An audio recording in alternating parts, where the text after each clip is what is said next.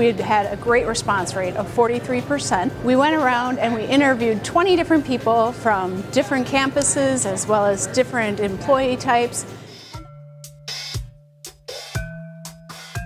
Overall, people feel like we're doing pretty good with internal communications, considering how large our college is, how many different campuses we have, as well as the variety of employee interests.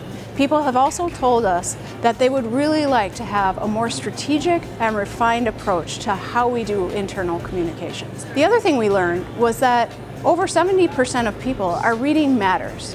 Matters is opened by them at least once a week and they find a lot of value in getting that resource. On the other hand, they've also said that they'd really like to see matters refreshed and reformatted.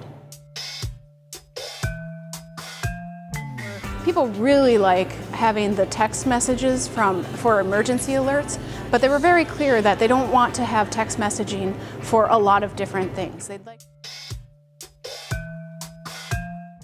We've recommended and we've received approval to write an internal communications strategy and plan, which will be finalized by August 1st of this year. What we're going to do is Carrie Heyer and I will co-author the plan, but it will be a collaborative effort all the way around. We have an internal communications site on SharePoint, and it tracks where we've gone so far and where we're headed.